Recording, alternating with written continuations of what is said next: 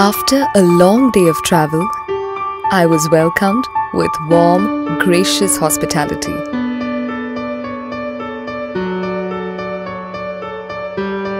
Enlivened with local culture and thoughtful gestures, I felt an instant connection.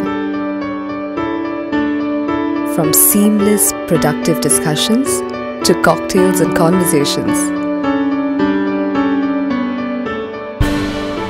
I had discovered my new space for work and play. Whether it was unbinding in my bubble bath or gorging on delicious food, there was never a moment I felt away from home.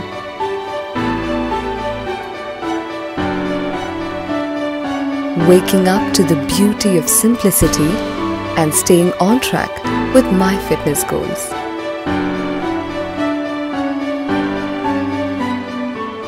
Nourishing myself with scrumptious brekkie delights. Feeling energized and rejuvenated. I was taking back a bag full of memories. And though it was time to leave, I knew I would be back.